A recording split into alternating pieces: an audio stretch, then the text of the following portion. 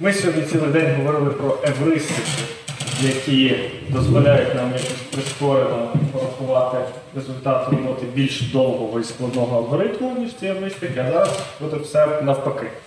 Зараз я буду розказувати про алгоритм, який дозволяє порахувати все, але дуже неоптимально. Там буде буквально один слайд про те, як, як- які евристики є, е, щоб його трохи прискорити, і щоб не робити там повний перебір. Але загалом це власне лекція про алгоритм в лапках, насправді, це спойлер е, який формалізує науковий метод.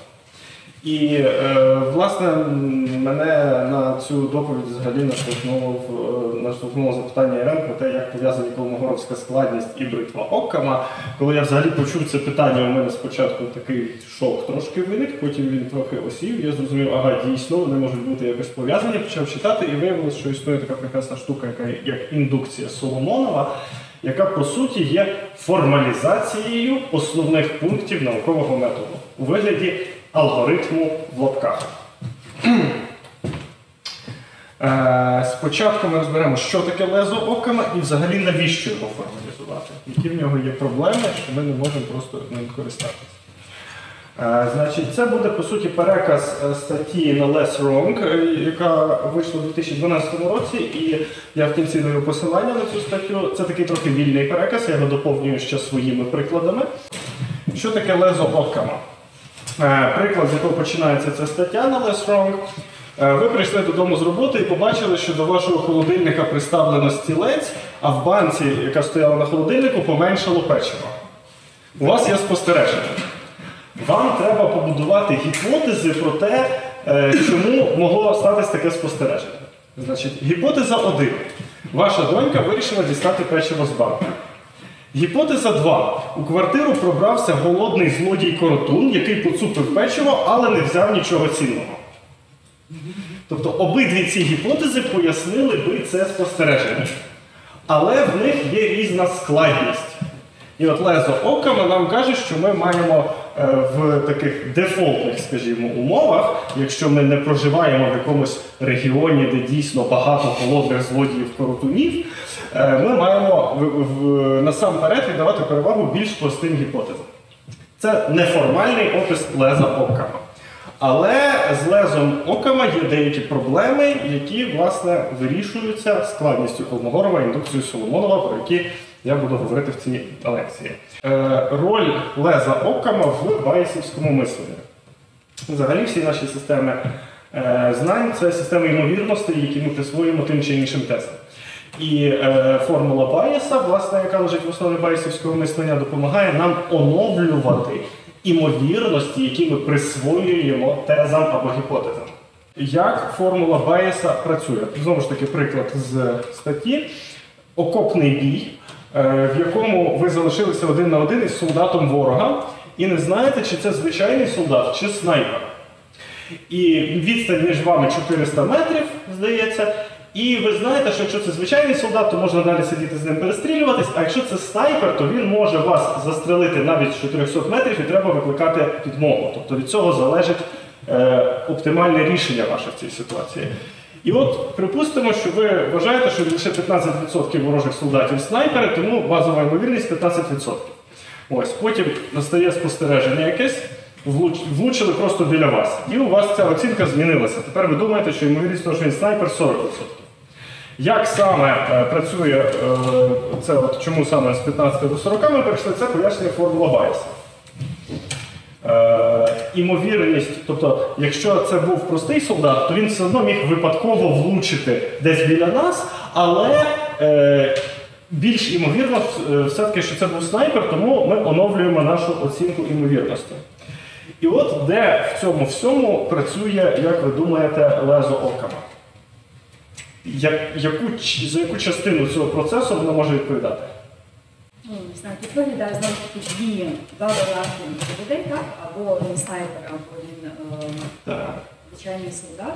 І треба відсікати. Щось на цьому слайді е, має походити лише з леза окама, бо більше нічого йому нема. Мені здається, просто відсоток Другий. невеликий. Який? 40 відсотків. 40% це те, що сказали нам формула Байеса. Другий, другий, це А ось 15% базова оцінка це те, що формулу Байеса треба подати на вхід. У нас має бути якась апріорна оцінка ймовірності тої гіпотези. Просто було незрозуміло, звідки взялася ймовірність, що він, що він снайпер 15%. Так, тобто е, початково ми намагаємося розподілити, коли у нас немає ніяких знань, ми намагаємося розподілити імовірність між всіма гіпотезами максимально порівну. Якщо, е, от, і, і е, якщо, скажімо, ми, ми мали якісь апріорні оцінки там густини снайперів серед ворогів, то от ми її просто взяли і використали. Але неможливо абсолютно рівномірно розподілити ймовірності між всіма вхідними гіпотезами, які ми сформували на початку. Далі буде мій приклад, якщо я не помиляюсь. Якщо А якщо буде не буду порядок слайдів. користатися лезомокома, то згодом кількість спостережень виправить ситуацію чи ні? Чи мені? Так. Е, Байесівське мислення працює таким чином, що все одно е, імовірнісні оцінки йдуть в сторону того, що нам кажуть спостереження. Але залежно від початкових оцінок, вони можуть це робити з дуже різною швидкістю. Якщо в нас, наприклад, взагалі не було правильної гіпотези серед стартових, у неї ймовірність 0%, то формула Байеса не зробить її не нульовою цю ймовірність. Так, чому не вдається е, просто розподілити ймовірності порівну? Тобто в якомусь там абстрактному прикладі нам ніби вдалося знайти цю базову ймовірність, але це не завжди можливо. Я такий іграшковий приклад придумав. Е, Це, це моє твердження. Я стверджую, я сів на трамвай або тролейбус і доїхав до базару або університету. Яка ймовірність того, що я сів на трамвай? Тобто я нічого не повідомив вам про те, на основі чого я зробив цей вибір. Тому для вас ймовірність того, що я сів на трамвай, яка? 50%. Тому що ми розподіляємо порівну між гіпотезами трамвай і тролейбус 100% е, ймовірно, простору ймовірності, е, які вони вичерпують. Але яка ймовірність того, що я сів на трамвай і доїхав до базару? Да, це, да. Ви не можете знову сказати 50%, тому що тоді ви повністю виключите один з чотирьох варіантів. От. І е, власне, що е, виходить, що в формулюванні навіть базових ймовірностей нам треба вже враховувати якусь структуру тих гіпотез. От. Які є, це, ну, це така трошки іграшкова проблема, насправді лезо окама, а тепер більш серйозні проблеми з лезом окама. Е, точність. Значить, по суті, е, алгоритмічно ми спочатку обираємо з усіх гіпотез лише ті, які правильно передбачають спостереження. Якщо гіпотеза погано прогнозує наш світ, то це вже погана гіпотеза, а потім серед тих, які залишилися, ми обираємо простіші. Тобто, умовно кажучи, це два критерії, які застосовуються ніби послідовно, ніби один старший за другий. Але справа в тому, що цей старший критерій, наскільки добре гіпотеза передбачає спостереження, е, він не є чітко визначений. У нас може бути таке, що у нас є три гіпотези, і відхилення їх прогнозу від спостережень складають 1,3%, 0,9%, 0,8%. Ми маємо взяти тільки ці дві і порівнювати їх, чи ми маємо взяти всі три?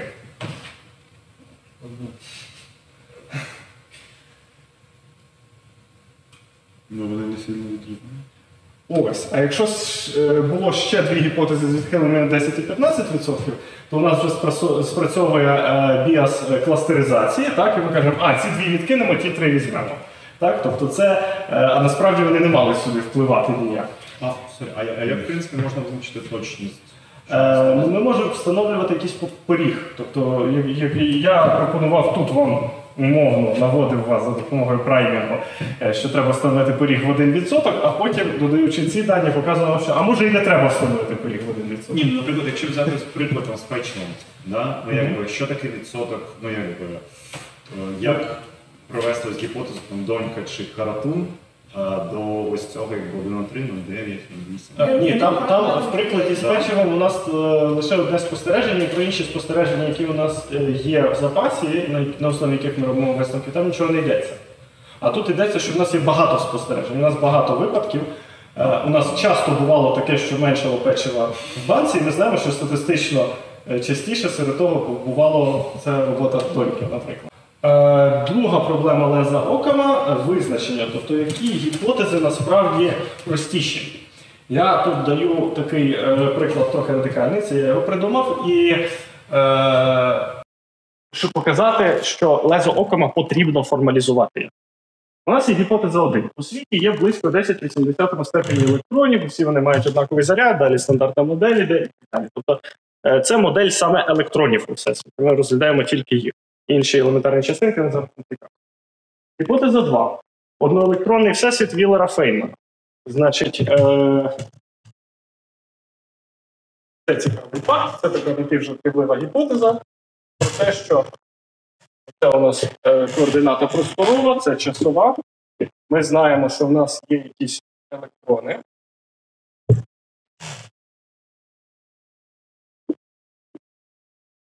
І ще є деякі позитрони. Плюс це античастинка е, електрона.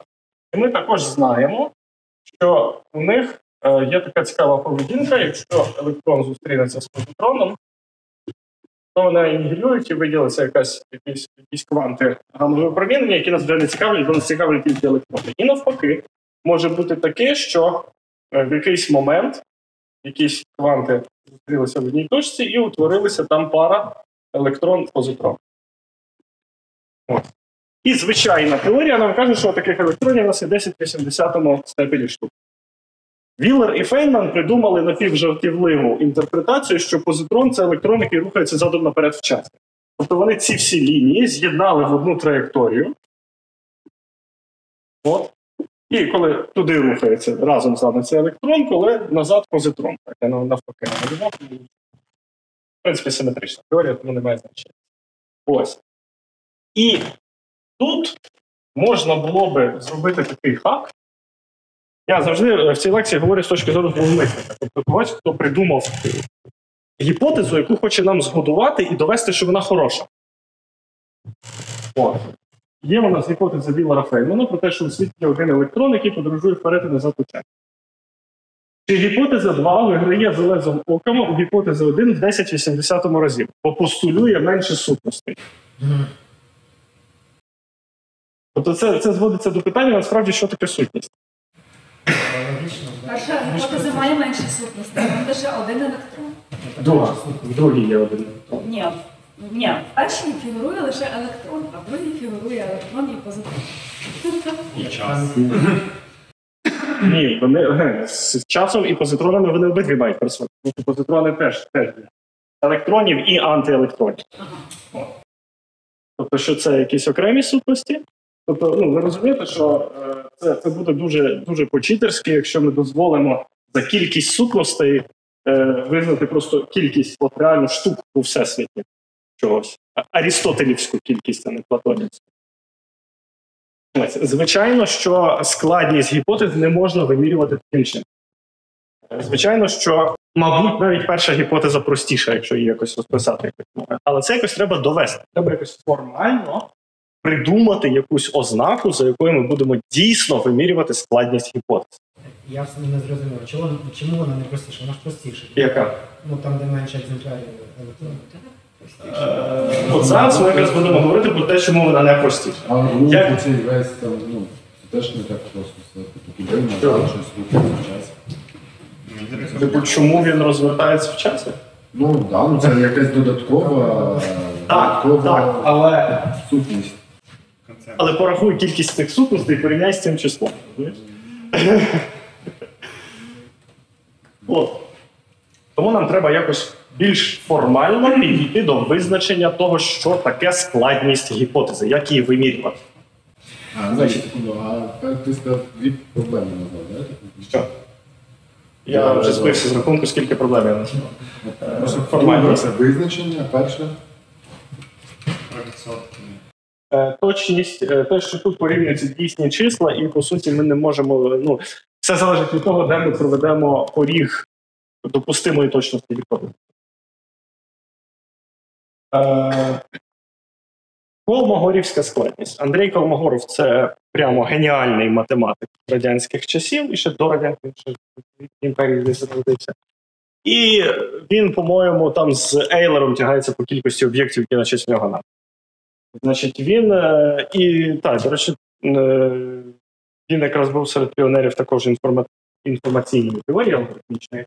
Ось тому Теорія побудував. Ну, що? Він багато побудував теорію.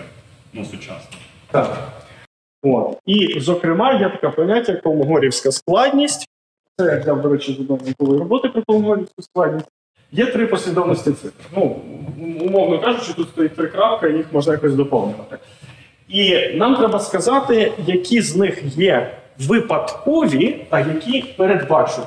Тобто, от якби ви могли там поставити долар на те, що ви вгадаєте наступну цифру в кожній цих послідовностей, так? яку би ви з них вибрали. Першу або другу, або другу. О, я, я радий, що люди впізнають і другу теж. Ось. Е, тобто, е, перша, вочевидь, передбачувана. Другу може назвати випадковою людина з вулиці, але ми з вами знаємо, що це десяткові знаки числа пі. А третя справді випадкова. От, е, як, як це, цю складність, якби випадковість цих послідовностей формалізувати? Значить, Колмогорівська складність визначається як? Вона визначається для рядка тексту, для ну, послідовності дискретних якихось даних. Це мінімальна довжина комп'ютерної програми, яка генерує цей рядок як свій виріб. Тобто е, тут ми можемо просто сказати виводь 3, тут ми маємо трошки довше, бо ми маємо порахувати десятковий знак числа 3, а е, числа пі, а тут ми маємо готову послідовність, і по суті в нас довжина програми дорівнює довжині цієї послідовності. Тобто нам не вдасться зекономити ніяк, тому що це реально випадкова послідовність. Якщо ми просто напишемо рендом, другий раз запишемо, запустимо програму, вона виведе інші числа. Тут зрозуміліший приклад. Значить, тут є рядки символів. Це я з Вікіпедійної статті взяв про статтю е, з Колмогор- е, Колмогорівської складності англійської Вікіпедії, здається. Е, перший рядок є за Колмогоровим простіший, ніж другий, тому що першу стрічку можна згенерувати, ну, це псевдокод, так, умовно, як вивід АБ 16 разів. Це в сумі виходить там 7 символів. Раз, два, три, чотири, п'ять, шість, сім. А другу стрічку можна згенерувати тільки повним оцим е, кодом 34 символи. 32 символи рядок і там два якихось символи позначення початку і кінця. Е, звісно, що якщо ви будете програмувати це різними мовами, то у вас буде виходити різна колмогоровська складність. Але існує теорема, до якої я ще повернуся в цій лекції, яка називається теорема інваріантності колмогоровської складності, якщо не помиляюсь, яка говорить, що залежність не, не критична. Тобто, якщо у нас є дві мови програмування, е, то не може бути такого, що е, у нас, наприклад, в одній з них одна стрічка набагато простіша за іншу, а в іншій набагато складніша. Е, власне, е, умовно це можна намалювати так, що на кожній мові програмування, якщо вона повна за Тюрінгом, говорити пізніше, можна написати компілятор іншої мови програмування. І у вас щонайбільше всі складності при переході з одної мови в іншу, щонайбільше змістяться на довжину цього компілятора. Тобто, у нас є теорема, яка каже, що ну так, воно залежить від мови програмування, але не дуже сильно. Але до цього ми ще повернемося. Так, що таке машина Тюрінга? Я тут щось понамальовував. Значить, е, машина Тюрінга це є. Е, ну, мо- мо- можна два таких вступних визначення дати. З одного боку, машина Тюрінга це модель, на якій працюють абсолютно всі сучасні комп'ютери. Тобто, і, і не сучасні теж. Тобто, спочатку Тюрінг придумав цю модель, а потім за цією моделлю почали створювати реальні комп'ютери. Е, Друге визначення е, машина Тюрінга це формалізація поняття алгоритму, тому що до запровадження цього поняття ніхто не знав чітко, так строго формально математично, що таке алгоритм. Значить, машина Тюрінга це такий механізм, який їздить вздовж нескінченної боки стрічки, і в кожній комірці цієї стрічки, стрічки записано символ 0 або 1. В загальному випадку насправді може бути більше алфавіт, але обов'язково скінчений. Тобто в кожній клітинці записаний один з якогось набору символів. І е, ця машина Тюрінга має скінчену кількість внутрішніх станів. Отут як це стоїть 1, 2, 3, 4. В кожному з яких записано інструкцію. Що таке інструкція? Інструкція складається з двох наборів таких даних. Значить, отут перший, це перший набір, це другий. записати в комірку, в якій ми зараз стоїмо, 0 або одиницю, перезаписати те значення, яке там є, посунутися вправо або вліво по стрічці, або залишитися на місці також, і перейти в той чи інший наступний внутрішній стан. Оця колонка, одна чи інша, вибирається залежно від того, яке число було записане в поточній комірці до того, як ми почали її перезаписувати. Тобто це е, такий умовний оператор. Тобто в кожному стані у нас може бути різна дія залежно від того, що записано в поточній клітинці. Ось. І ще одна деталь: один з внутрішніх станів називається зупинка. Halt. Е, При переході в нього машина припиняє роботу. Ось, тобто, це, це формальний опис, е, е, е, по суті, механізму, який може симулювати будь-який відомий нам алгоритм.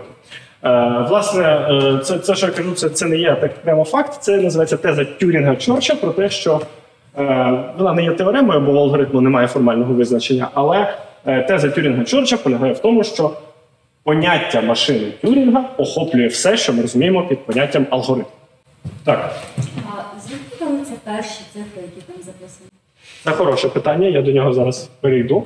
Е, насправді, е, в, це, буде простіше показати на, е, на версії машини Тюрінга, яка називається трьохстрічкова машина Тюрінга. Тому що тут, в однострічковій машині Тюрінга, у нас змішані початкові дані, які ми заводимо в машині. Вони, це, це початковий стан стрічки. Вивід це кінцевий стан стрічки і проміжна пам'ять. Тобто е, якісь записи у нас внутрішня пам'ять машини скінченна, скінченна кількість станів, але е, зовнішня пам'ять нескінченна. Тобто ми можемо е, яку завгодно частину цієї стрічки виділити собі тимчасово як область е, зовнішньої пам'яті і використовувати її для запису якихось даних. Ось. На, на тристрічковій це розділяється на три окремі стрічки, і там буде зрозуміліше. Значить, машина Тюрінга тристрічковий варіант. Можна її визначити не з однією, а з трьома стрічками. Перша це ввід, це е, стартове положення. Е, тут фактично не міняється. Тут не стартове, а е, тут є якась одна послідовність е, нулів одиниць, і вона так і залишається такою. Е, друга стрічка це внутрішня пам'ять, а третя вивід. Тобто сюди і сюди ми можемо писати. І по першій і третій стрічках ми можемо рухатися тільки в один бік, тільки вправо. А по внутрішній пам'яті в обидва боки. Тобто, ця тристрічкова машина Тюрінга послідовно читає е, від. Е, тобто одним з її операторів оцих е, даній стрілки буде фактично три колонки. Чи посунутися по стрічці е, вводу, чи посунутися по стрічці виводу, чи посунутися по пам'яті вправо або вліво. На кожному кроці, в кожному зі своїх станів вона має такий вибір. Ось. І вона послідовно буде зчитувати якусь частину цього інпута. Причому вона сама може вирішити, докуди, докуди його зчитувати. Можливо, там є спеціальна послідовність, яка означає все від закінчився. Ось і буде послідовно так само виводити стільки, скільки захоче е, виводу. А по пам'яті вона може їздити в обидва боки і записувати е, собі там якісь проміжні дані. Ось, тобто е, ну, вважається, що типу, тут нулі, поки ми туди не доїхали, бо ми все одно будемо туди щось записувати замість нулів. А пам'ять, пам'ять початково нульова, але ми можемо туди записати, що завгодно. Є доведено, що одна і тристрічкова машина Тюрінга еквівалентні між собою. Тобто все, що ми можемо виразити такою машиною, ми можемо переписати для такої і навпаки. Тому зручніше буде користуватися цією моделлю. Вони еквівалентні між собою, але зручніше буде розділити собі умовно на три стрічки. Універсальна машина Тюрінга. Значить, е, з того ж всього, що ми сказали, досить очевидний факт, я думаю. Одна машина Тюрінга може симулювати іншу, тобто продукувати такі ж результати при такому ж е, вводі. Так? Тобто ми можемо дві різні машини Тюрінга збудувати і е, довести математично, що при однаковому вводі в буде однаковий вивід. Ну, наприклад, дві різні імплементації одного і того ж алгоритму. Ми можемо банально там поміняти порядок станів. Це буде формально інша машина Тюрінга, але якщо ми збережемо відповідність з цими переходами, у нас все збережеться. Другий, менш очевидний. Одна машина Тюрінга може симулювати декілька інших машин залежно від стартового стану стрічки. Тобто, наприклад, ми собі виділяємо. У нас є вісім різних машин Тюрінга.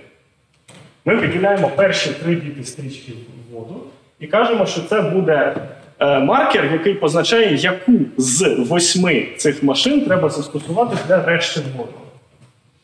І ми можемо написати машину, яка об'єднує всі ці вісім машин, побудувати стане першою, другою, третьою, так? І залежно від перших трьох бітів, які ми тут считаємо, ми перейдемо на одну з цих восьми підмашин. Тобто ми можемо об'єднувати кілька машин Тюрінга в одну, яка буде вибирати одну з тих наступних на основі якихось даних звідси. Таке питання, а як можна в трьох перших символах закодувати можливість вибору восьми? А скільки будувати? 0, 0, 0, 0, 0, 1, 0, 1, 0.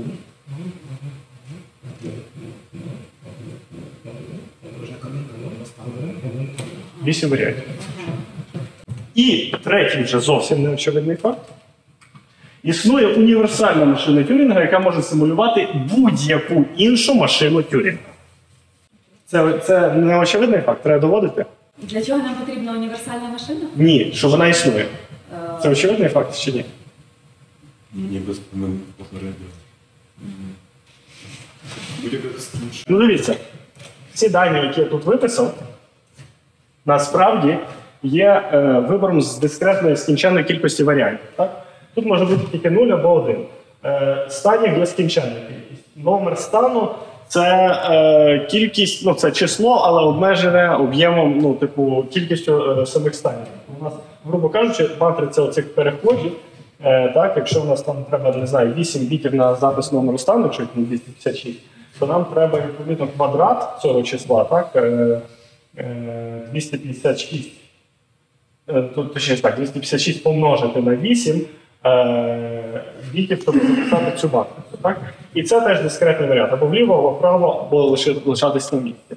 Тобто ми можемо фактично інформацію про машину Тюрінга записати так само двійковим кодом. Ми можемо записати в якомусь кодуванні от, е, інформацію про те, яка це машина Тюрінга. І, наприклад, там в кінці додати якусь спеціальну послідовність, яка в нашому кодуванні ніде не може трапитись, але яка означає це кінець опису машини Тюрінга. Це саме колбомова строєва складі. Що сама, сама описує свій. ну, що ми раніше розглядали. Це програма, яка описує свої свої саме сама. Колмогорова складність, якою довжиною стрічки ти можеш записати на комп'ютері програму. Це я просто описую е, машину Тюрінга е, мовою бінарної мови. І далі я можу написати універсальну машину Тюрінга, яка спочатку зчитує оцей код іншої машини Тюрінга. Коли доходить до цього маркера кінця, тобто цей байт це маркер кінця опису, так? Знає, що ага, стоп, ми, ми зчитали всю цю машину, відтворює її у себе якось у внутрішній пам'яті і починає її виконувати як код. Ну, а, стоп, ще раз, можна порядок? Тобто спочатку в нас є якісь машини Тюрінга, і ми будемо універсальну, яка їх покриває. Чи ми хочемо побудувати універсальну машину, яка покриває будь-яку іншу? Будь-яку іншу. А можна коли А в нас їх нескінченна кількість може бути. Ну так, але я ж і пояснюю, що е, те, яку іншу машину вона виконує, буде залежати від старту е, коду на оці на, на інпуті. Ми спочатку. Кількість. Ну, А у нас довжина не обмежена. Я ж кажу, у нас тут є маркер спеціальний, який каже, отут закінчився опис машини Тюрінга. А далі почався інпут, який ми маємо передати на цю симульовану машину Тюрінга. так, а, так ми, ми, ми ніколи не дійдемо до цього маркера. Як це ніколи? Якщо він нескінченний. Ні, тут скінченна кількість. Я ж сказав, у машин Тюрінга є скінченна кількість стадій. Так, я розумію. Кожен стан описується скінченною кількістю байтів. Так, ну, але в нас може бути нескінченна кількість машин Тюрінга. Так. Ну, а, а якщо ми хочемо покрити нескінченну кількість машин, е, машин Тюрінга, у нас має бути нескінченна кількість Ні. станів. От я ж кажу, це неочевидний факт.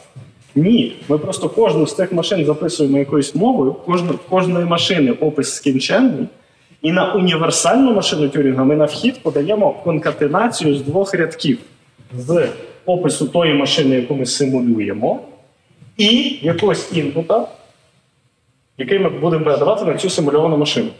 Ну, але ж у нас цей опис, він, ну, їх... Опис скінченний. А, а чому? Кількість станів скінченна.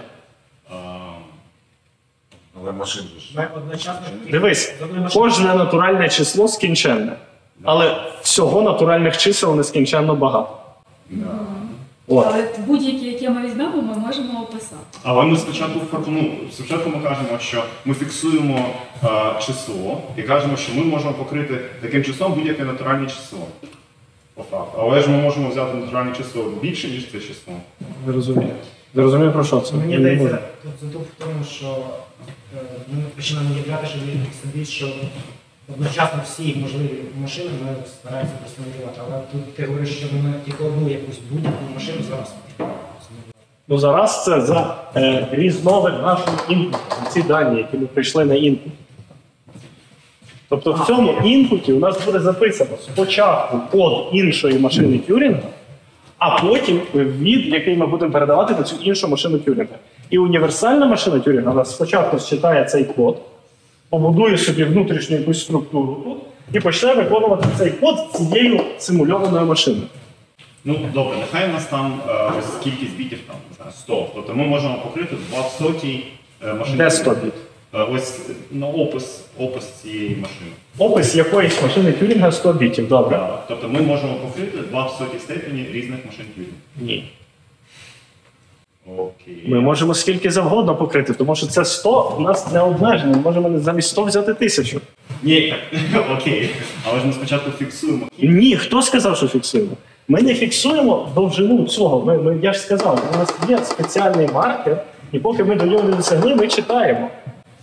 А, окей. завантажимо машину тоді, коли вона дає простановлювати. Окей, а просто у нас це буде заборонено якесь заборонене. Так, так, а, так. окей. Тобто серед символів, якими ми описуємо цей стан, у нас є якийсь заборонений символ, який означає, що це кінець опису. Так, значить, у нас є тристрічкова універсальна машина Тюрінга, яка зчитує зі стрічки код іншої машини і виконує. І тристрічковій універсальній машині Тюрінга можна подавати на вхід конкатенацію. Конкатенація це знаєте, що це просто беруться дві стрічки і приставляються одна до іншої. Так? Якщо в мене є стрічка ОПЦ, додати Стрічка 1, 2, 3. Це буде стрічка 1, 2, 3. Ця операція називається конкатенація. Стрічок. Ось, тобто ми просто приставляємо одне до іншого і передаємо на, на вхід універсальної машини Тюрінга об'єднаний цей код. О. Е, так, тут буде дуже сильна, сильна теза зараз, яку я не буду обґрунтовувати. Е, не треба кидатися на неї з критикою, тому що я потім сам в кінці її розкритикую. Е, значить, все виражається звуковими винятками. Ми живемо в симуляції. Е, Будь-яку інформацію можна записати як послідовність нулів і одиниць. Навіть наші нейрони, це, до речі, несподіваний факт для мене був, я якось його не усвідомлював до, того, як я прочитав, а це якраз я прочитав ці технології. Навіть наші нейрони або продукують сигнал, або не продукують. Тобто у нас немає напівсигналу в кожному нейроні. Е, Нема проміжного стану, тож якби поділити час на дискретні кроки, то можна було б записати одиницями і нулями навіть наші думки. І ще одна проблема може бути, якщо декілька процесів відбувається одночасно, ми все одно можемо конкатенувати їхній опис. Тобто ми можемо запхати їх за якимось наперед визначеним алгоритмом в одну величезну стрічку. А, але це буде матись на увазі, що вони будуть якось шматочками, шматочок одного, шматочок. Ми можемо придумати синтаксис, ми можемо придумати, в якому порядку ми записуємо, так, щоб пам'ятати це, і ну, в кожної позиції, так, в кожного біта буде якесь значення. Тобто світ це послідовність нулів і одиниць, а наші гіпотези про світ це спроби вгадати алгоритм, який породив цю послідовність. Тобто ми пробуємо підібрати алгоритм, який буде видавати такий самий результат, як ми бачимо в спостереженні. Оце ключова ідея е, індукції Соломонова. Власне. Е, у нас є дві досі не спростовані гіпотези. Тобто, от у нас є спостереження, це світ закодований в нулях і одиницях. У нас є алгоритм 1, який має такий вигляд, і алгоритм 2, який має такий вигляд. От, тобто вони е, припустимо, що це машини Тюрінга, які ніколи не зупиняються, так вони там далі йдуть і дописують нулі одиниці в ці рядки. Ось, і ми не можемо, тобто це якісь гіпотези абсолютно по-різному сформульовані, і ми не можемо передбачити наперед, чи вони завжди будуть видавати однаковий результат, чи десь розбіжуться, і ми зможемо тоді відфільтрувати, як сказати, ага, Ця гіпотеза сказала 0, ця сказала 1. Чекаємо на спостереження. Якщо вона скаже 0, значить перша гіпотеза правильна. Якщо 1, значить друга гіпотеза правильна. Ось. Але ми цього наперед не знаємо. Це, до речі, е, якраз. Е, це не знання, яке вирішує математика, і оскільки математика теж вирішує, е, шукає які, якісь знання і заповнює якісь прогалини знання, я теж вважаю, я, її вважаю такою самою наукою, як інші науки. Ось, це такий невеликий коментар до цього. Ось, і от, і от у нас є дві неспростовані гіпотези. Два алгоритми, кожен з яких до цього часу давав такий самий вигляд, як спостережений світ. Е, як між цими двома гіпотезами тепер обрати щось за лезом? Можна подивитися, яка з цих гіпотез займає менше місця. І тепер ми знаємо як. Тобто, в якої з них машина Тюрінга має менше внутрішніх станів, тому що кожен з цих внутрішніх станів це по суті рядок коду. Це рядок коду, який каже, якщо поточний потенцій 0, то нічого не міняти, перейти вправо, перейти на другий стан. Інакше записати одиницю, перейти вліво, перейти на третій стан. Ось. Тобто можна порівняти е, кількість станів в цій машині Тюрінга, або можна порівняти довжину коду цієї машини Тюрінга в універсальній машині Тюрінга. Ось. І виходить, що одна з цих гіпотез може бути простішою, коротшою, простішою до програмування на універсальній машині Тюрінга. І тоді лезо Окама нам скаже, що вона простіша. Так. У мене питання по кількості станів. Ага. Е, ну, тому що спочатку я уявила собі, що це однакова кількість станів, вони просто по-різному заповнені. А зараз ти кажеш, що кількість станів може бути різна. Вона скінченна точно, але вона може бути різна різних машинах. Тобто тут, для прикладу, чотири стани. Зупинка, інші отак записані. символами. Тепер все це разом е, у вигляді індукції Соломонова. Значить, е, Рей Соломонов це американський вчений, який народився в родині емігрантів російських євреїв. Е, значить, індукція Соломонова це формалізований алгоритм наукового методу. Алгоритм в. Потім дізнаємося, чому. Значить, так як в цій статті спочатку описується, то науковий метод подається як список ніби інструкцій, але потім пояснюється, що вони не є чіткими якимись формальними інструкціями, тому це не алгоритм. А ось індукція Соломонова, вона трошки ближче до поняття алгоритму. Значить, спочатку встановити змінну L дорівнює 1. Це довжина всіх алгоритмів, які ми перебираємо. Перебрати всі алгоритми довжини L, тобто машини Тюрінга з такою кількістю станів. Відсіяти з них ті, які зависають. Якщо машина Тюрінга, наприклад, в якомусь стані сказала, що вона на state 1 переходить на state 1, так? зависне. Вона, е, якщо вона починає зі state 1, вона завжди буде повертатися. Вона висить. Вона не буде нам продукувати ніякого аутпута, і ми можемо скільки завгодно чекати на неї і нічого не буде. Тобто відсіяти з всіх алгоритмів ті, які зависають. Що буде маркером того, що вона зависла? Не дає Не спорю. Про це пізніше. Е, Четверте, відсіяти з них ті, які продукують результат відмінний від спостережень. Тобто, якщо наш, наша машина Тюрінга сюди пише якусь дурню, яка не, не збігається з нашими спостереженнями світу, то це неправильна гіпотеза. І п'яте, якщо після цього фільтрування залишилась хоча б одна машина, вона є нашою поточною гіпотезою. Інакше збільшити L на 1 і перейти на крок 2, шукати серед більш довгих алгоритмів.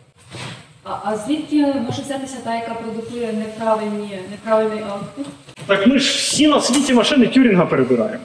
Всі алгоритми взагалі, які тільки можуть бути. Ну тобто ми формалізуємо таким способом, типу, всі варіанти розвитку подій такого плану. Не розвитку подій, всі машини Тюрінга. Ми перебираємо всі можливі алгоритми на світі. Кожен алгоритм це якась скінчена послідовність нулів і одиниць, ми можемо їх перебирати в порядку збільшення довжини цієї послідовності. Ну так, я просто до того, що е, машиною Тюрінга ми в принципі записували щось, якісь сценарії, які відбуваються в реальному світі. Ні. Чому ні? Ти ж сам сказав, що все на світі нулі одиничні. Я цю тезу ще збираюся розкритикувати, вона там лежить відкладена. Тому поки що давайте без, е, я не знаю, це феноменологія була чи що це. Ми просто перебираємо. Ми вирішили, що гіпотеза про світ має бути алгоритмом, значить вона має бути машиною Тюрінга. Значить, давайте переберемо всі можливі машини Тюрінга і знайдемо серед них найкращу гіпотезу. І ось тут лезо Окама працює саме в тому, що ми довжину цих алгоритмів поступово нарощуємо. Ми спочатку коротші перебираємо, а потім довші. І таким чином ми е, швидше дійдемо до найкоротшого можливого запису тої нашої гіпотези, яка дійсно породжує той аутпут, який потрібно. В сенсі, що щойно ми дійдемо до якогось довшого. до якоїсь гіпотези алгоритму машини Тюрінга, яка не зависає і породжує такий самий аутпут, як Але спостережуваний світ. Ми можемо повернутися що той, що коротший, був кращий. Чому? Ну, тому що коротший. Де який, який коротший краще? Той, який задовольняє всім критеріям, і при цьому ще й коротший. Ні, ми вже перейшли на другий. Якщо той нам щось не підійшов, може. Ні, дивись, ми послідовно перебираємо всі можливі алгоритми. Якщо ми ще не знайшли в п'ятому кроці алгоритма, значить він або завис, або спродукував результат відмінний від реального світу, відмінний від спостереження. Тому ми насамперед знайдемо найкоротшу з тих гіпотез. Ми навіть не будемо проходити по довших, тому що порядок перебору такий. Ми від коротших до довших йдемо. Так. А спостереження це просто якийсь сталий фіксований набір. Ось це наступне, про що я хочу сказати, оскільки спостереження теж додаються нові, то ми можемо звіряти спостереження з нашою поточною гіпотезою. Це наступна частина алгоритму, яка не влізла на слайд. І якщо у нас буде розбіжність, тобто у нас неправильно спрогнозувалось, тоді ми запустимо це знову. Тобто у нас вже відомо, що е, серед алгоритмів довжини L немає таких, які правильно передбачають першу частину послідовності. Ми візьмемо наступне L плюс 1 і будемо шукати серед них якісь наступні алгоритми, які передбачають разом вже з тими спостереженнями. От, тобто це суперформалізований абсолютний науковий метод. Ну, я думаю, що всі вже побачили, або, ну, які тут є проблеми. Він, він страшенно неоптимальний. Тобто, це, по суті, брутфорсний перебір усіх можливих алгоритмів. Так не можна робити. На це не вистачить ніякого комп'ютера, ніякої обчислювальної потужності. А власне, як збільшується кількість необхідних е, кількість необхідної обчислювальної потужності з кожним кроком, з кожним L плюс 1? З кожним L, дивись, з кожним L в описі е, тут у нас збільшується, додається кількість бітів. Навіть якщо в нас тут додається один біт, припустити, що один крок це один біт, то у нас кількість цих машин збільшується в два рази експоненційно. Як мінімум. А там насправді буде не один біт, а, наприклад, 8, і це в 256 разів на кожному. Ось, і це ще не головна проблема. До головної проблеми я ще потім дійду, але Андрій вже знає. Е, оптимізована індукція Соломонова. Значить, це був ідеальний такий варіант, така модель.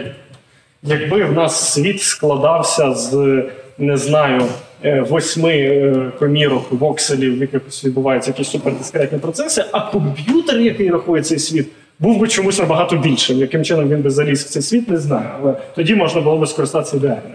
А так у нас є оптимізована індукція Соломонова, яка є, яка є наближенням до ідеальної індукції Соломонова, якщо якби, спрямувати її в нескінченність. Тобто це є ітеративний процес, який до неї наближається. Значить, е, по суті, вона з науковим методом робить те, що вона об'єднує прогностичну цінність і лезо окремо в один критерій. Е, Кожна гіпотеза, яку ми висуваємо, отримує штрафні очки. По-перше, за кожен рядок свого програмного коду, а по-друге, за кожне відхилення прогнозу від спостережень. Звичайно ж, тут можуть бути різні коефіцієнти, треба це якось зрівноважити, тобто все-таки привести на одну шкалу, і там є свої проблеми, яких я не буду чіпати в цій лекції, і в статті теж здається, їх не зачепили, це додатково прочитав. Ось, але в принципі можна всі гіпотези ранжувати за одним критерієм. Ну, тобто, якщо гіпотеза неправильна, але простіше, то якщо вона дає невеликі відхилення. ну окей. У нас гіпотези теж не ідеальні. Так, є, є, є все одно якийсь шум. Е, в статті е, згадується алгоритм, який називається е, в англійській мові, що чомусь називають еволюційний алгоритм, але я знаю е, цей клас алгоритмів як генетичні алгоритми, тому я тут навів на слайді обидві назви про це викладу. Е, значить, припустимо, у нас є якихось там 15 конкуруючих гіпотез. На кожному кроці еволюційного алгоритму ми робимо по одній копії кожної з цих 15 гіпотез, і в копії вносимо невеликі зміни, які називаються мутації. Тобто десь ми можемо навіть взяти, просто випадковий біт вибрати і поміняти на протилежний, ну на одиницю. Якщо ця машина Тюрінга скомпілиться, супер, ми зробили мутацію. Ось. І далі проводимо між цими вже 30 гіпотезами, 15 оригінальних, 15 мутованих. Змагання за цим принципом, за цими штрафними очками, і 15 нижніх відкидаємо.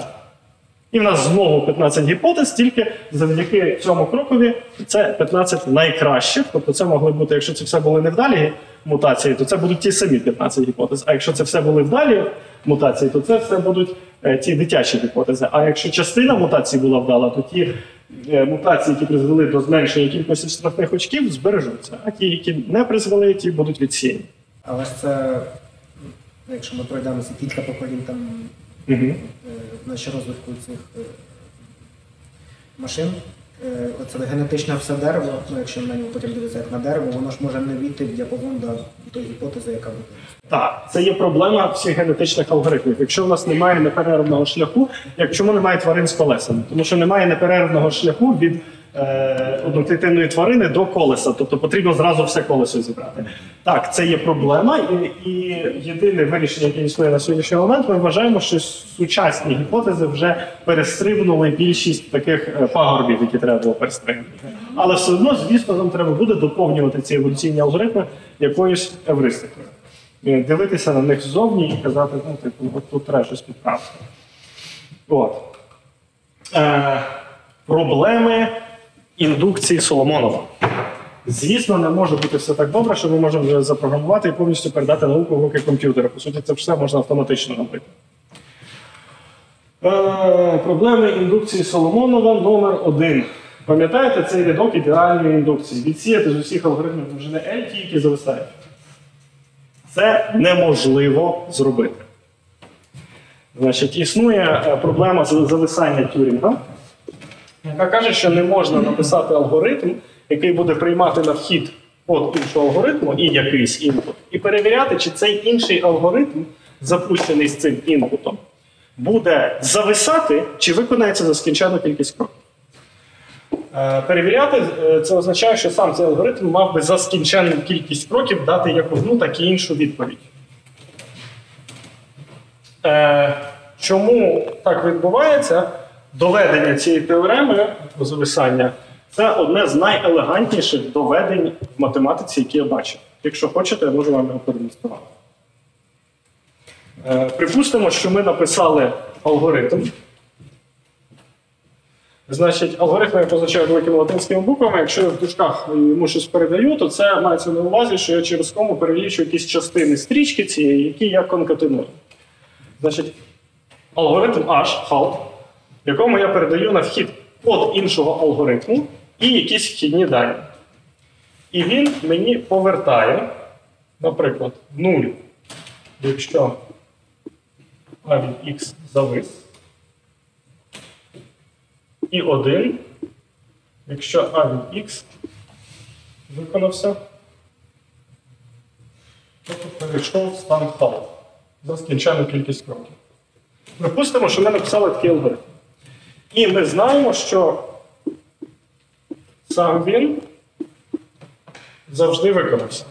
Так? Тобто е, сам цей алгоритм має завжди за скінчену кількість кроків е, досягти цієї відповіді. Бо якби він цим був не обмежений, якби ми сказали, що аж зависає, якщо А зависає, то він би міг просто запустити алгоритм А і зависнути разом. От. От припустимо, що він у нас є. Побудуємо алгоритм G від однієї змінної. Е, власне, ми йому на вход, на вхід передаємо код якогось іншого алгоритму. Таким чином, значить, спочатку він нам обчислить H від A, A. Тобто ми передаємо сюди в обидва аргументи код алгоритму. Алгоритм виконується над своїм власним кодом. І якщо у нас H повертає 0, то halt. Тобто, якщо у нас алгоритм А, якому передали на вхід його власний вихідний код, зависає, то G вилітає. Каже, відповідь знайдена. Неважливо, що він повертає, можна повертати 0 або одиницю, просто виходить. І в противному випадку, якщо H одиниця, тобто, якщо алгоритм А виконався, то 1, go to 1. Тобто зависнути. Якщо е, цей алгоритм е, завис, то вийти, якщо він вийшов, то зависнути. Тепер питання. Алгоритм G від G. Зависне чи виконується? Що? Будь-якому випадку це буде зависання. Ні. Якщо алгоритм А при, при подачі на вхід йому власного коду зависне, то G вийде, і навпаки. У мене тут два моменти, я не зрозумів. Так. Як, е, тобто, факт того, що він зависає, ми визначаємо тупо лімітом е, перевірок, так? Яким лімітом? Який зверху ти там пояснив. Ну, типу, скільки часу чекати, чи Тільки зависне, в чи кінчальних ходів, скільки він має. Аж не повертає нам кількість ходів, за яких виходить. Аж повертає тільки одна, один біт інформації. Аж повертає 0, якщо А і X зависне. Який один, якщо виконається. За якусь скінчену кількість кроків. Ось я за це питаю. Тобто ти вставляєш просто ліміт туди. Немає ліміту. Ми, я, ми не знаємо. За яку скінченну кількість ходів? За будь-яку скінчену, ми не знаємо. Він або виконається за скінчену кількість ходів, або попаде в один з тих станів, точно один з тих станів, в якому він був вже. Або ще якийсь варіант ітеративний. Це гіпотеза, це я доводжу від супротивного. Я тобі кажу, припустимо, ми знайшли такий алгоритм H. Що звідси випливає? Звідси випливає суперечність, тому такий алгоритм H знайти не можна. Це доведення від супротивного. Тобто тут що буде? Що буде, якщо ми передамо алгоритму G на вхід його власний вихідний код? Так. Ну, він зависне. У мене наступне питання. Ні, він дивись. Припустимо, він зависне. Це означає, що? Якщо він завис, це означає, що Точніше, H. ми зависнемо. Ні, ні, ні, дивись. Якщо він зависне, це означає, що H від G, G Парадокс. дорівнює 1. Так? Це означає, що алгоритм HALT від алгоритма G і його аргументу дорівнює 1, тобто він мав виконатись. І навпаки, якщо він виконається за скінчену кількість кроків, це значить, що він зайшов сюди. Ні, це, це суперечність. Це називається суперечність в математиці. І якщо він вийде, це означає, що h від GG дорівнює нулю, тобто він мав зависнути. Тобто, У мене наступне Ну, питання. іншим людям. Ми е, можемо е, деякий алгоритм, ну тобто тюринговську машину, виконувати деякий час і е, встановити собі обмеження, що е, ну тобто, якщо е, вона е, не виконується за час, який вже достатній для того, щоб виконати наступний N плюс 1 тюрингівських машин, то на ці алгоритми можна ти не знаєш, який час потрібен на те, щоб виконати наступних L плюс один тюрінгівських машин. Ну чому не Це невідомо. Ми, ми, ну, тобто, ми знаємо, скільки це плюс один, тобто в скільки разів збільшиться Скільки разів кількість машин збільшиться? Кожна машина, серед них може бути захована машина, яка або зависає, або яка виконується там на третьому кроці, вже може бути машина, яка там 200 кроків виконує. Це, до речі, є така задача, називається е, Зайнятий бобер, Busy Beaver. Е, Це е, гра, в якій тобі треба написати машину Тюрінга з обмеженою заданою кількістю внутрішніх станів, яка буде е, продукувати якомога більше одиниць. Або це можна переформулювати як виконуватися якомога довше, але не зависне при цьому. Тобто це алгоритм, який має назвати тобі велике число, але не нескінченність. І от хто найбільше назвав, той виграв. Ось і це гра, і е, ця гра сама по собі не є computable, вона не є обчислюваною. Тобто е, з ростом кількості кроків, е, точніше, з ростом кількості внутрішніх станів, число максимальне, яке може назвати Busy Beaver, росте швидше, ніж будь-яка обчислювана функція. Воно росте швидше, ніж експонента, ніж факторіал. Там е, в Вікіпедії можна подивитись, там е, така штука типу для одного, двох, трьох, чотирьох станів, воно росте типу, тут одиничку може максимум назвати, тут там 4, там 13, здається. І тут вже йде число на рівні числа Грема, тобто там 3, 4 стрілки 3, розумієте? Тобто от воно росте швидше, ніж будь-що, що ми взагалі можемо планувати. Ось. Тобто це, е, цей рядок, по суті, робить нашу е, індукцію Соломонова non-computable, не, uncomputable, не обчислюваною. І вона тому не є алгоритмом, вона не є машиною Тюрінга. Її не можна саму реалізувати як машину Тюрінга. Е, Це стосується не тільки індукції Соломонова, а це стосується, по суті, всього, що працює з е, кодами машин Тюрінга, що намагається їх перебрати. Тому великою проблемою є написати антивірус, тому що антивірус це програма, яка аналізує вихідний код інших програм або бінарний код машинний. Ось е, ми не знаємо, що буде, якщо е, виконається там якийсь довільний код, нам треба його якось евристично аналізувати. Ось е, тому сама колмогорівська складність не може бути обчислена точно, але про це буде на наступному слайді, я ще скажу. Ось і це робить індукцію Соломонова не алгоритм, тому там було алгоритм в лапках написано. Ось. Індукція. Е, Це halting problem, про яку я розказав. І формально кажуть, що індукція Соломонова є необчислювальна, тобто uncomputable. І я вже навів кілька прикладів того, що може бути uncomputable. От функція uncomputable, і Busy Beaver це теж гра, яка є uncomputable. Ми не можемо алгоритмічно побудувати оптимальний алгоритм, який якомога більше одиниці запише на стрічку. От, проблеми колмогорівської складності. Те саме, та сама проблема, що в ідеальній індукції, стосується колмогорівської складності, вона є необчислювальна. Щоб перебрати всі алгоритми довжини менше, ніж L, потрібно вирішити проблему зупинки цих алгоритмів. Тобто колмогорівська складність це теж функція, яку не можна запрограмувати в загальному вигляді. Можна обчислити колмогорівську складність точно для якогось невеликого, е, е, невеликої стрічки, можна просто перебрати там всі алгоритми довжини до 4 і сказати, що ага, є програма довжиною 4, е, яка генерує цей рядок, а програм 1, 2 і 3 довжиною немає. Ось. І на практиці ми не кажемо, колмогорівська складність цього рядка дорівнює 13. Це не грамотно буде сказати. Правильно буде сказати, я побудував програму довжиною 13, яка генерує ось цей рядок. Ну, там рядок, який десь так, який я виводив. Це означає, що колмогорівська складність цього рядка щонайбільше 13. Я не перебрав всі програми довжиною від 1 до 12, щоб стверджувати, що це точне значення. Ось, тобто це верхня оцінка замість точного значення. Проблема неуніверсальності. Це, мабуть, найважливіше, е, що взагалі може поставити хрест на цілому лезі Оккама.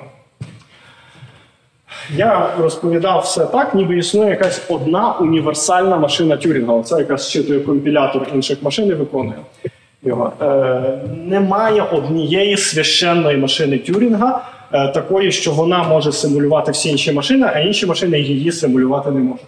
Існує нескінченна множина універсальних машин Тюрінга, кожна з яких може симулювати будь-яку іншу. Існує нескінченно багато потенційних мов програмування. І хоча існує оця теорема інваріантності е, щодо складності Колмогорова, про яку я вже згадував, яка каже, що при переході з одної мови програмування в іншу, або при переході від одної універсальної машини Тюрінга до іншої, е, складність Колмогорівська не може сильно змінитися, ніщо не заважає зловмиснику. Тобто тут я знову повертаюся до якогось такого божевільного вченого, який хоче пропихнути нам гіпотезу, яка з нашої точки зору є складною за окамом, але він намагається нам довести, що вона проста за окамом. Нічого не заважає зловмиснику написати свою мову програмування, в якій весь потрібний йому вивід генеруватиметься однією командою. Тобто, повертаючись до е, того слайду, де була е, написано, де дві стрічки в Колмогорівській складності обчислювалися, так, АБ, АБ, АБ, і якась випадкова стрічка довжиною 32 символи. Ніщо не заважає зловмиснику написати мову програмування, в якій однією командою буде виводитись саме ця стрічка. І він скаже, ну це, це просто, це елементарно. От Колмогорівська складність цього в моїй метриці один. Ось. Приклад життя, який, до якого ми договорилися вчора з Ірен, поняття Бог. Для нас Бог це суперскладне поняття, е, яке абсолютно не проходить ніяке лезо окама. Він має бути одночасно людиноподібний, розумний, всемогутній, добрий, звідкись мав виникнути. Як це все могло статися, це величезна складність. Але існує клас людей, в яких це базове фундаментальне поняття. В їхній мові програмування, яка у них в голові, на якій все крутиться, є одна велика кнопка створити світ. От вони її просто тиснуть, і світ виникає. Все.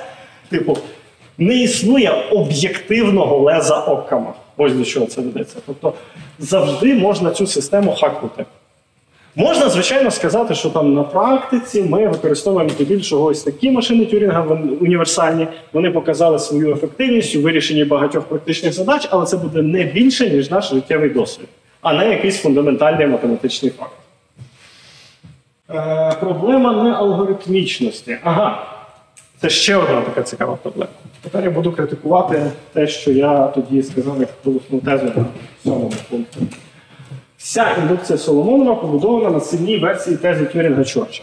Значить, що таке теза Тюрінга Чорча, я вже сказав. Це таке твердження, неформальне абстрактне твердження про те, що машина Тюрінга вичерпує всі можливі наші уявлення про алгоритм. Це неформальне твердження, тому що саме слово алгоритм не має іншого визначення, окрім машини Тюрінга формального.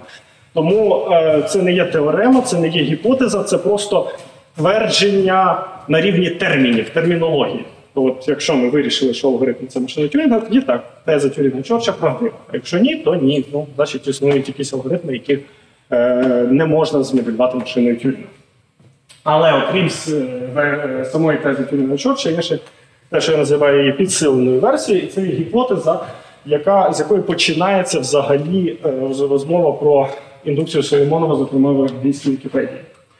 Значить, сама теза Тюрінга Чорча, підсилення тези. Наш світ, оці всі нулі і одиниці, які е, складають наші спостереження, генерується алгоритмом.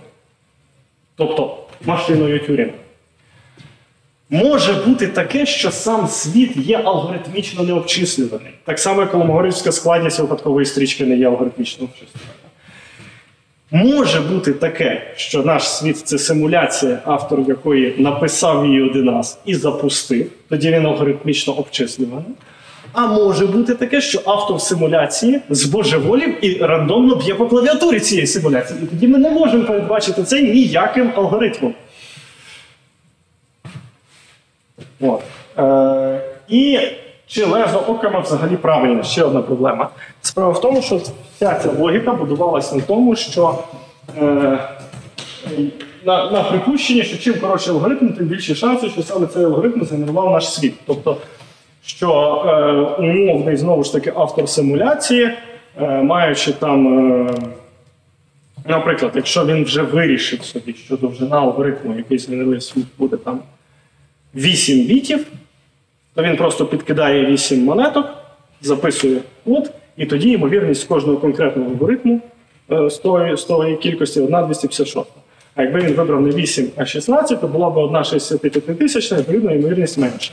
Якщо ці всі ймовірності ще пронормувати, тобто об'єднати так, щоб е, сума всіх ймовірностей по всіх довжинах була одиниця, то, мабуть, ми це пронормуємо так, що коротші алгоритми будуть ймовірніші. Це дуже натягнута гіпотеза, якщо чесно. Тобто, можливо, це взагалі не так. Ось. І це стосується ідеальної індукції, і те саме, в принципі, стосується і е, наближення. Е, наближеної індукції Соломонова, тому що ми там нараховуємо гіпотезам штрафні очки за надлишкові рядки коду. А насправді це виходить, що ми, е, ми це робимо для себе, для того, щоб нам потім легше було на комп'ютері цю гіпотезу запустити і передбачити е, розвиток цього світу, а не для того, щоб знайти більш імовірну гіпотезу. Ось, і ще одна проблема: чи є світ стрічковий? Оце, власне, критика того слайду про те, що я сказав, що все представимо як двійкові дані. Існують концептуально моделі світу, в яких світ не є представимим як, послідовність нулів і одиниць. З чим це пов'язано? Це пов'язано з тим, що стрічкове представлення дозволяє записати лише системи зі зліченною кількістю станів. Тобто, е, Якщо ми зафіксуємо довжину там 100 бітів, то в нас буде кількість станів. У нас буде е, 2 в сотому.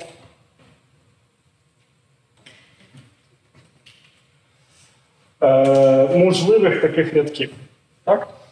Якщо ми не зафіксуємо, тобто у нас е, цей рядок може бути необмежено довгий, то в нас їх буде безмежно багато цих можливих рядків, але їх буде зліченно багато. Їх можна пронумерувати натуральними числами. Їх буде е, не, не 2 в сотому, а їх буде але нульове. Тобто стільки, скільки натуральних чисел. Але може бути таке, що у світі на фундаментальному рівні є дійсно чисельні величини. Тобто, е, що, наприклад, ту ж імовірність не можна якось розбити на дискретні інтервали. Що імовірність може бути будь-яким дійсним числом від 0 до 1. Тут дійсних чисел більше, ніж натуральних є всього. Тут дійсних чисел є, але вперше. І тоді ми не можемо записати навіть одну ймовірність, навіть одну з цих величин, просто як послідовність нулів одиниць. У нас буде нескінченно довгий запис. Ну, але ж ми можемо записувати як там результат ділення цілих чисел. Дивись, кожен раз, коли ми це, це піднімає ще одне питання про е, знову ж таки non-computable і е, алгоритмічно недосяжні числа. Кожен раз, коли ми визначаємо якесь число на відрізку 0,1, ми кажемо, як ми до нього дійшли. Це одна третя, один поділити на три. Або це границя, до якої прямує сума е, там 1, мінус 1 третя, плюс 1 п'ята, мінус 1 сьома, плюс 1 дев'ята і так далі. Так, ми вже знаємо, що це число дорівнює пі на 4. Так, воно ніби трансцендентне, воно не є розв'язком жодного алгоритмічного рівняння, але е, ми маємо його визначення. Так? І це все є алгоритмічно досяжні числа. Виходить, за рахунок того, що тут більше чисел, ніж тут. Розумієш, алгоритмів є зліченна кількість. І це означає, що є тільки зліченна кількість алгоритмічно досяжних чисел. Ми можемо довго придумувати якісь способи добратися до того чи іншого числа, але більшість чисел це парадокс, цікавий парадокс. Більшість чисел на відрізку 0,1 дійсно алгоритмічно недосяжні. І при цьому я не можу вказати на жодне з них. Якщо я покажу ось це число, то я щойно показав алгоритм, як до цього числа дійти. От. І якщо, якщо світ на фундаментальному рівні є, працює на дійсно численних величинах десь, то він не представимий як послідовність нулів одиниць, і відповідно процес, який його генерує, не представимий взагалі як алгоритм. От. І е, це посилання власне на статтю на Лесном і на е, наукову статтю про саму Колмогорівську складність, звідки я взяв. Хочу уточнити, просто про- пропустив цей момент. Мгм. В чому проблема у нас е, записувати їх безкінечними стрічками? у визначенні машини Тюрінга у нас було, що має бути скінченна кількість станів. Тобто е, у нас е, зараз, що у нас має бути скінченне? Дивись, в формальній системі у нас має бути скінченний алфавіт, скінченна кількість правил. Аксіом, до речі, не обов'язково має бути скінченна кількість. Можуть бути аксіоматичні схеми, які генерують нам зліченну кількість аксіомів. Е, В машині Тюрінга в нас має бути скінченна кількість внутрішніх станів, але не обмежені, ми не обмежені по кількості зовнішніх станів, тобто тих, які ми записуємо собі на середній стрічці. А інпут, він має бути обмежений, так? Інпут ні, Не обмежений. не обмежений. В чому проблема? Е, В тому, в тому, що ми розглядали тут всюди, якщо пам'ятаєш, алгоритм, який закінчується колись. Він має колись зупинитися, і це означає, що він зчитає скінчену кількість інпута і видасть скінчену кількість аутпута. Ти казав, що е, ми розглядаємо алгоритми, які не зависають, але це не те саме, що він не закінчується. І- Це те саме. Ні, зависається, коли він циклиться, а якщо Ні. він продовжується постійно. Якщо він продовжується постійно, значить він ніколи не переходить в стан hold. Да, але це різні ситуації.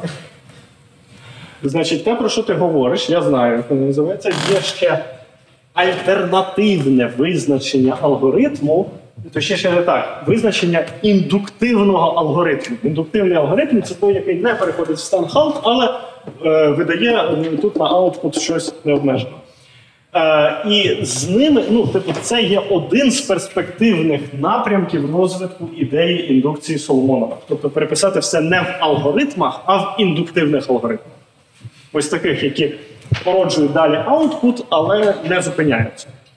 Я чесно не читав вже туди. Там далі є ще якісь напрямки. Це стаття 10 років тому вийшла. Тобто там з того часу ще могло щось додатися і поміняти. А в межах цього нам потрібні були власне алгоритми, які не зависають, тобто вони, ну, ну е, е, якщо такому алгоритму сказати не передбачено, всю історію майбутнього до, до упора до теплової смерті, а передбачено наступні там 100 секунд нашого всесвіту. Ми це передаємо йому на інпут, він генерує 100 секунд аутпуту і зупиняється. От, тобто такі алгоритми. Це все було сформульовано для скінченних автоматів. Ось, але так е, існує спосіб переформулювати це для алгоритмів, які е, не, не, не халтяться і видають собі аутпут, аутпут, аутпут. Чим більше ми їм дамо часу е, операційного, тим більше вони його нагенерують. Але знову ж таки, наскільки я розумію, для аналізу індуктивних алгоритмів нам не підійдуть ті самі фінітистські методи, що для аналізу звичайних алгоритмів. Тому що в нас з'являться нескінченні послідовності там, де були тільки скінченні множини. Я хотіла просто сказати, що є ще і гіпотеза е, Чорча Тюрінга, яка говорить, що в нас немає не не гіпотеза, а теорема Чорча Тюрінга, яка говорить, що в нас немає алгоритму, який наперед передбачить, чи цей алгоритм е, знайде вирішення. Буде, буде розрішення. Чи це теорема Тюрінга про зависання? Я не пам'ятаю, чи там є Чорч. Ну, можливо, так, окей. Можна про е, цього божевільного автора симуляції, який Мгм. є по, по клавіатурі? Угу. Ем, В такому випадку, якби це було так, то ем, між цими алгоритмами, типу, ну тобто питання полягає в тому, чи можна встановлювати між алгоритмами якісь зв'язки, чи якщо в нас їх нескінченна кількість, то в нас немає ніякого способу перевіряти, чи відбувається оця, ця ситуація, що божевільний автор є по клавіатурі, тому що ну, якби, в реальному світі в такому випадку не було б, наприклад, причинно-наслідкових зв'язків. Ні, дивись. Е, так працює. Це працює так, що ми збудували якусь суперкласну теорію всього, побудували квантову гравітацію, квантову теорію відносності. Все об'єднали в одну теорію, супергарні передбачення. У нас збігаються спостереження і передбачення цієї гіпотези, збігаються, збігаються, збігаються, а потім бац і почали не збігатися. Ось це, е, це буде сигнал того, що або ми знайшли гіпотезу, яка добре працювала лише на обмеженому, обмеженій частині нашого простору, так як теорія гравітації Ньютона добре працює тільки в якихось там масштабах. Далі потрібна гравітація Ейнштейна. Ось. Або ми знайшли в самій математиці якусь закономірність, яка перестала працювати, тобто яка обмежена в своєму домені. Е, Ну, так як е, те, що я показував Арсенові, що многочлен n квадрат плюс n плюс 41. Якщо ви будете підставляти сюди числа n від 0 до 40, він буде давати прості числа.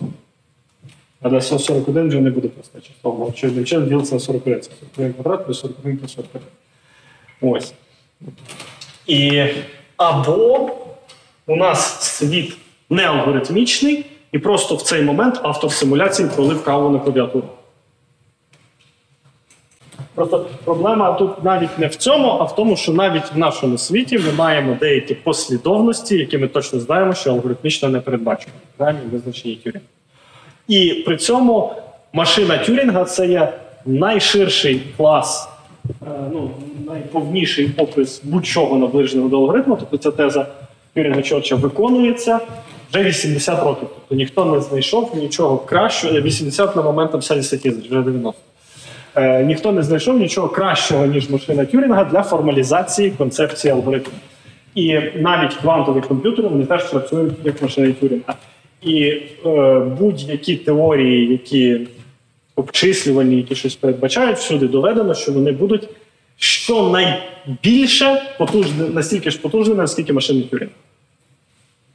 От, повнота за Тюрінгом називається навіть властивість. Це повнота за Тюрінгом це власне властивість всіх універсальних машин Тюрінга. Тобто можливість симулювати будь-який алгоритм, будь-яку іншу машину Тюрінга, передати на вхід і симулювати. Повнота за Тюрінгом це найбільш потужний е, обчислювальний як це? Е, ну, різновид систем з точки зору обчислення і алгоритму. Тобто нічого потужніше за це не придумав.